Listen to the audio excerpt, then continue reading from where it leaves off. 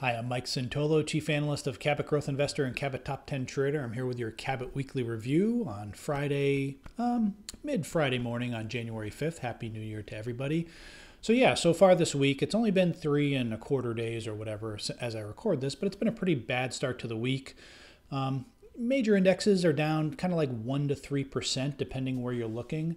Um, if you're looking at more at the glamour growth stuff like ARK and IPO, we'll take a look at those. Even like the IBD 50, um, those are kind of down three and a half to six, sometimes even seven percent on the week so far. I mean, so far today we're bouncing, so we'll see how it goes.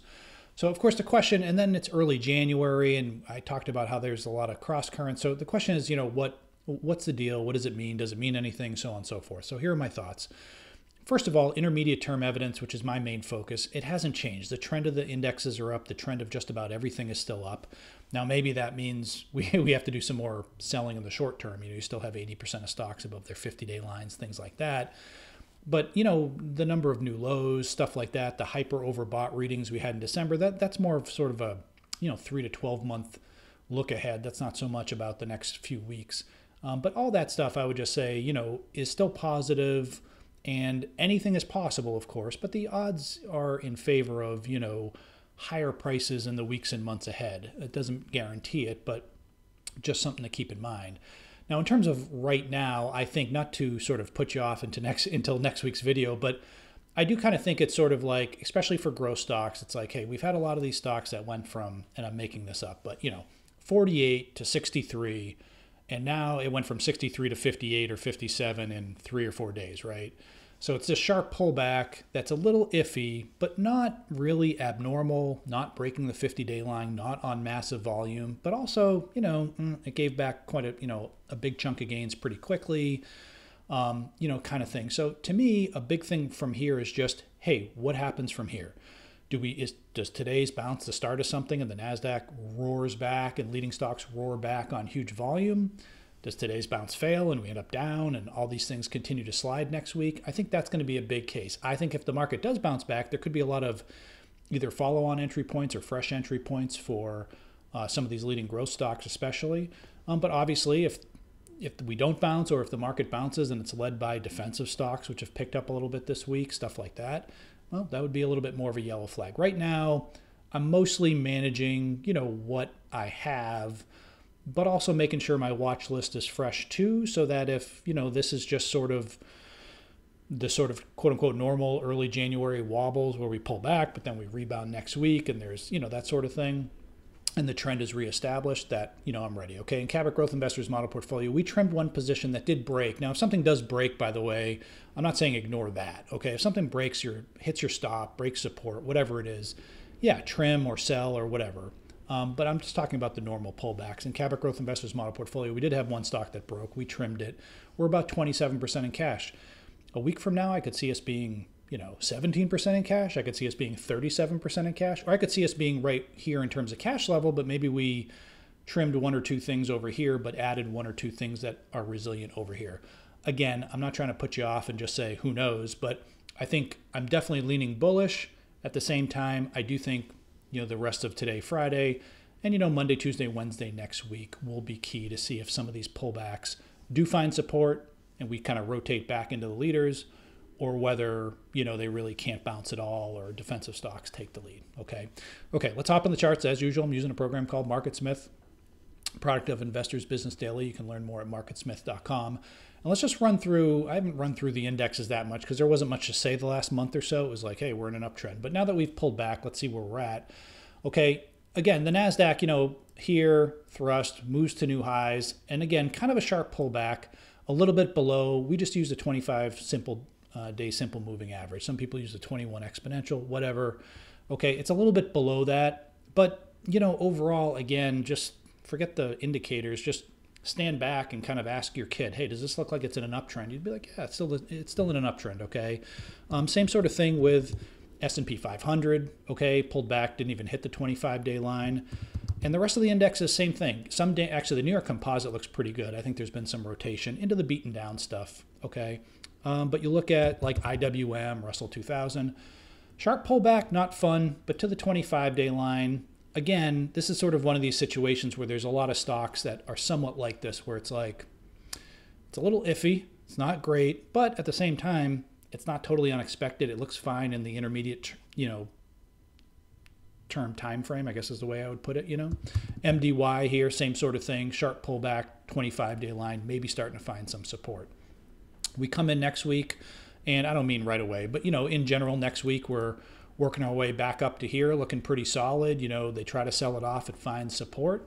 Hey, that's pretty good. You know, we come in next week conversely, and you know we do go up here and then boom boom boom it gaps down 2% hey what the hell's going on you know that's obviously going to be a different kettle of fish okay so let's see how it goes but right now clearly intermediate term wise none nothing i mean what's the weakest iwm maybe i mean recently i guess you'd say weakest or the nasdaq i guess is below the 25 day line so we'll call this we'll call the nasdaq the weakest if market smith wants to cooperate yeah but still well above you know the 50 day line by a few hundred points so intermediate term trend is up okay just running through some stuff I've seen. XLP, I wouldn't make too much of it. I mean, it had one up day the first day, then it sold off. Whatever. I'm just it has outperformed the market. This blue line is relative to the S&P 500. It's outperformed the market a little bit of late. I'm not super worried about it, but let's just see what happens. XLV is more it's not strictly defensive, but it's more big cap, safer healthcare sort of thing. XLP is much more my favorite defensive measure, but still this one's a little bit more, I won't say worrisome, but stronger. Obviously, break out to new highs, acting better. We'll see what that means uh, going forward. Um, like I said with the IWM, I'm just seeing a lot of stuff like this is XLI. Um, I'm just seeing a lot of stuff like this where it's sort of straight up here. It hit a new high. You know, we had a lot of headlines with um, like you know the S&P was I don't know if it did hit a new high but it comes close. I never pay attention to that stuff but you know it's really close to all-time highs and then you kind of either hit it or get close and then they sell it off a little bit. So you kind of see this sort of action. This is XLI which is just industrials but it's it's it's a little like uncomfortable you know you'd like to see it bounce but it's not abnormal at all okay like XME again these are materials this I'm not saying these sectors in particular I'm just saying the chart pattern you know clearly out above the uh, summer highs, you know, big move, eh, pretty sloppy pullback in here, even started before the new year, you know, late at the end of, you know, right before New Year's. Um, but still looks fine above the 25 day line. So I think, again, not to just, you know, repeat myself, but I think it's just a matter of, you know, hey, can we find some support here ish? I mean, I'm not saying we can't go down another day or two, but, you know, can we find some support here among the indexes and individual stocks? Um, and if we do, can we bounce strongly? Um, or are we bouncing strongly, but it's led by XLP and stuff like that? You know, we'll just have to see. So far, I would just give the benefit of the doubt to the trend, which remains up for major indexes, most sectors, and still the vast majority of stocks, 80, 85% of stocks are above their 50 day line. Just a couple more things until individual stocks. One is just playing into the XLV theme, which is why I'm always careful. XLV is kind of defensive, just like utilities are kind of defensive, obviously but there's a little like other factors in play in utilities it's interest rates xlv there is some you know medical biotech there is some growth there. It's not just toilet paper and toothpaste right? So this is xbi which is biotechs. And i've talked about this before. It's been this is xbi monthly chart. So back here was 2015 i don't know what level that was. Call it 90 i mean we're just about the same level as back then you know? So at some point you'd think that you know biotechs would really lead. And you know it is it is a nice, impressive trend here. And so far, of all the sort of growthier areas, it's probably holding up the best. And I do have a couple names for you, but like you know, we are seeing more of these names that have popped. There is some M and A stuff in there, some rumors, so that's helping the group. But even so, you know, there's it's it's it's a it's a pretty good setup, and there's some pretty good stories in there too.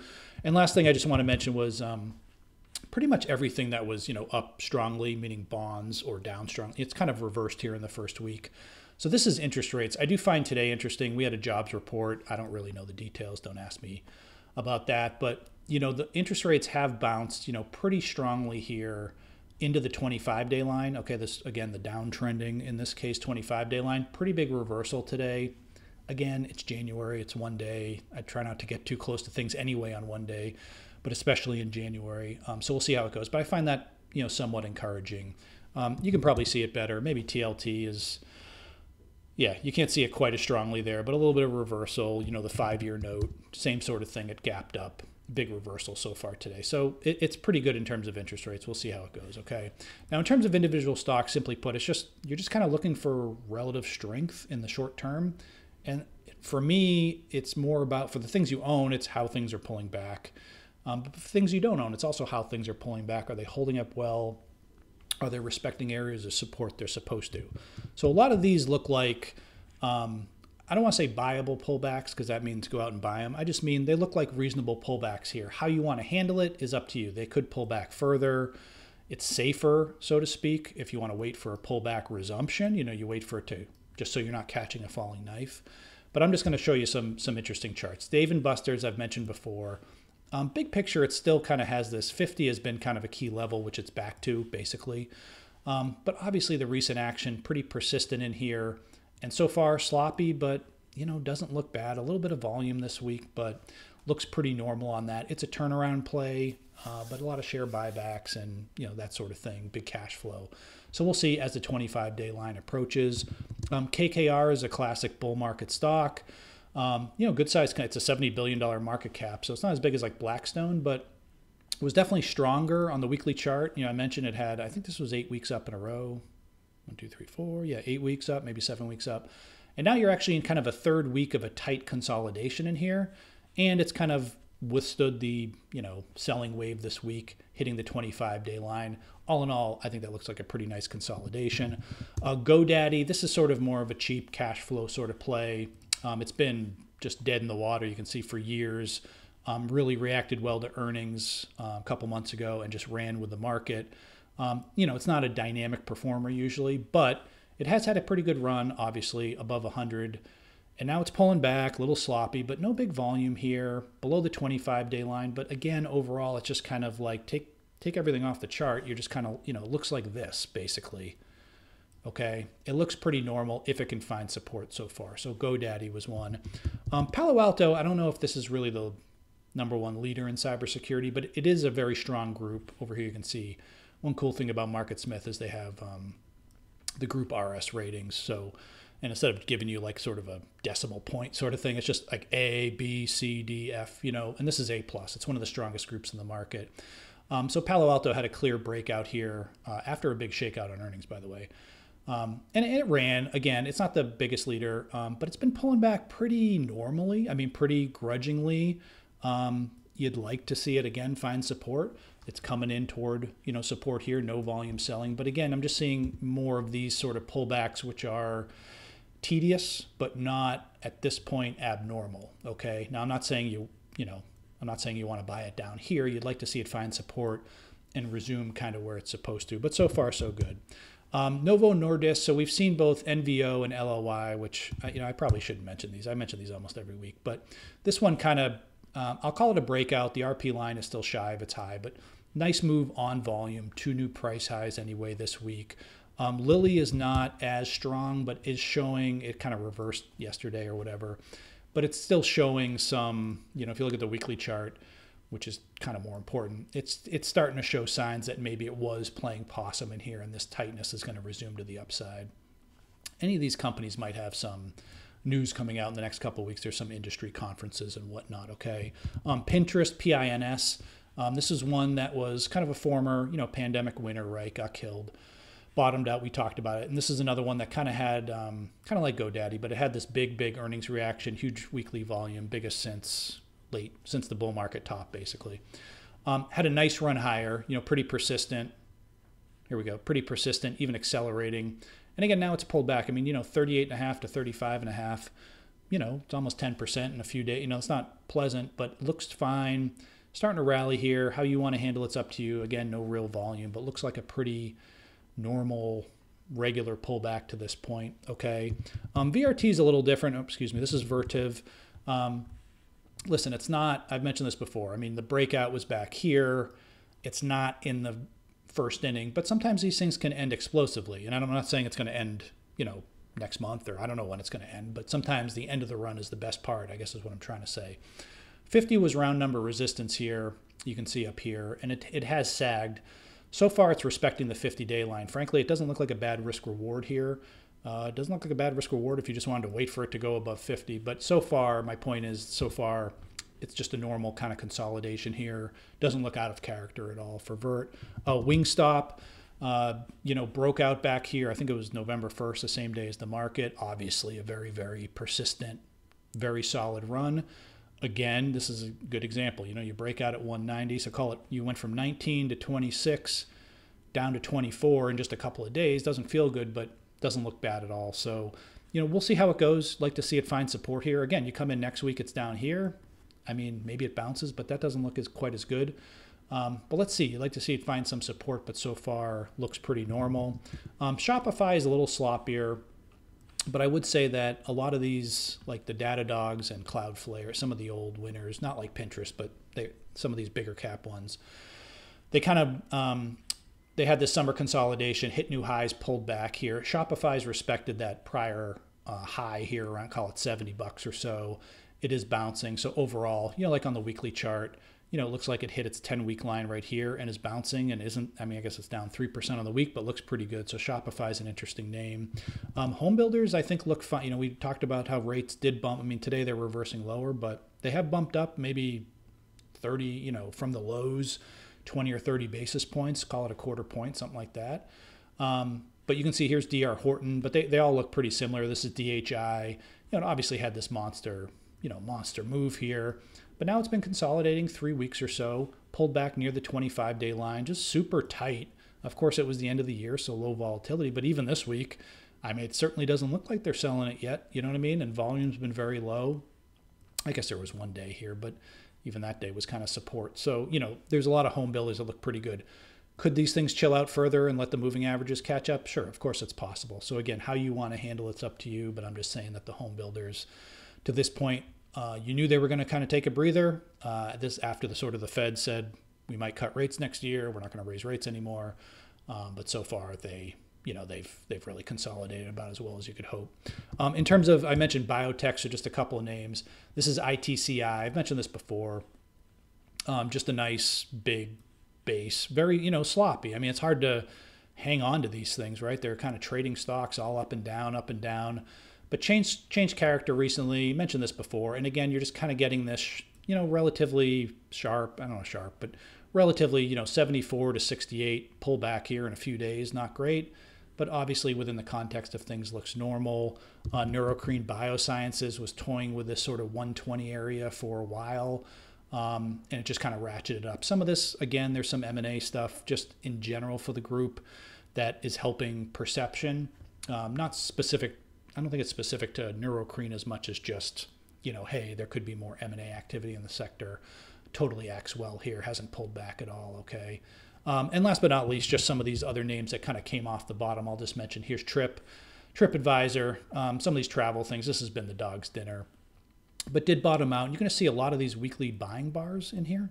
Okay, pretty good earnings estimates. If these are for real, we'll see. I mean, in terms of this year, 40%. Um, and, you know, on the weekly chart, you can see it kind of dipped it might close three weeks tight. I mean, who knows how it closes, okay? And Expedia is kind of the probably the stronger name in that group. Again, weekly chart sort of tells the story. Just a ton of buying. These four weeks to me are meaningful. I mean, you know, you get a big liquid stock.